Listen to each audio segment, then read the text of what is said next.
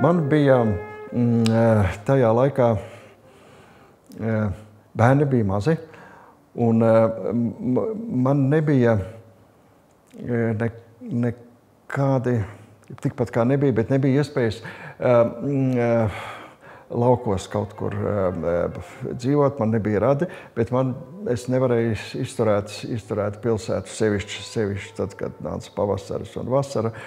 Un tad es izdomāju tādu vienu Man ienāca prātā, man gribējās būt projām no, no pilsētas un, un tā pie dabas. Es izdomāju tā, es zināju, ka Latvijā ir pietiekuši daudz skolas, kurās ir, ir, ir, ir skolas internāti. Un vasarā viņi stāv tukši. Jā. Tur skolnieki jau brauc tikai skolas laikā. Un tad es dažādā veidā meklēju kaut kādu, mēģināju noskaidrot, kur ir kāda vieta, kur varētu aizbraukt. Un, un, un ar bērniem pavadīt vasaras skolas internātā, un, ja tur būtu tuvumā vēl klavieres kaut kādas, nu, tad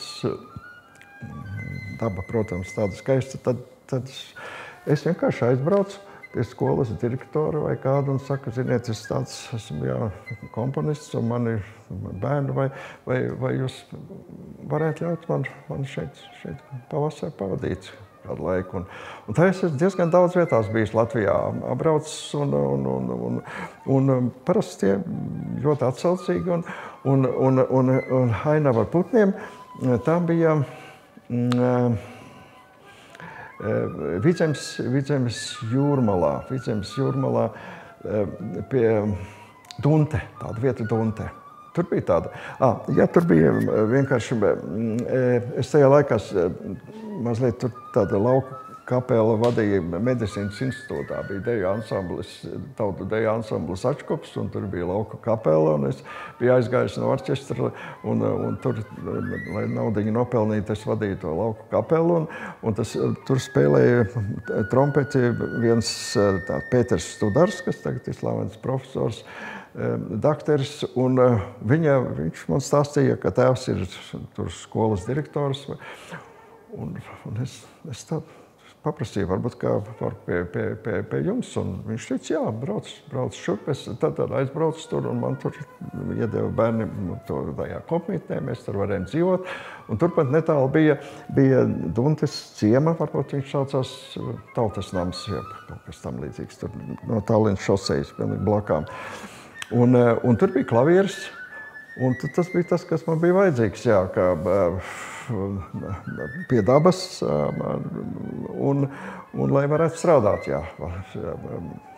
Tajā vasarā arī esot pie dabas un, un uz jūru ejot un visur staigājot. Pamazām manī tāda nāca tāda, tāda atklāsme, ka pagaidi, pagaidi.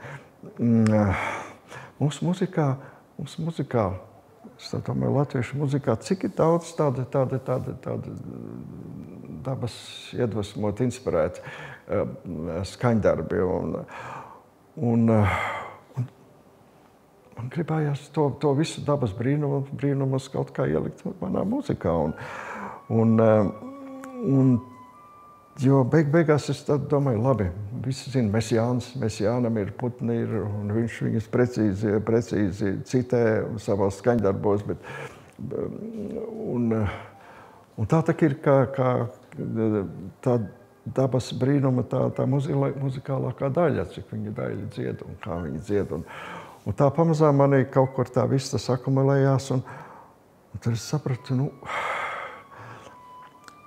Kā tu vari, vari savā muzikā bez putniem izdzīvot? Jā, ja tu esi tik, tik tuvu dabai un tik, daba tev tik daudz nozīmē, un, tu, un viņa tev, tev piepilda un uzlādē. Un, tā.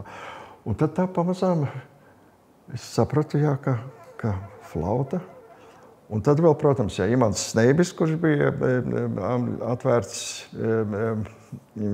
jaunajiem muzikai. Un, un, Es rakst, rakstīšu flautai, flautai solo. Flautai solo un, un tur, būs, tur būs daba. Un dabas muzikālākā daļa, skaistākā, skanošākā daļa putni. Un, un tā radās ainava ar putniem. Jā. Un tur var, protams, skaidrot, jā, ainava ar putniem.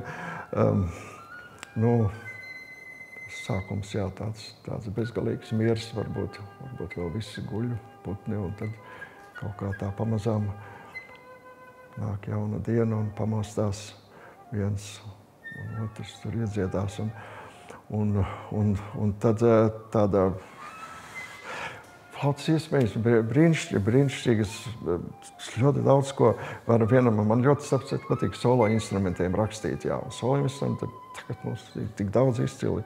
Un tajā pašā laikā es vēl arī, kas man ļoti patīk flautai, flautai šie, šīs tādas netipiskās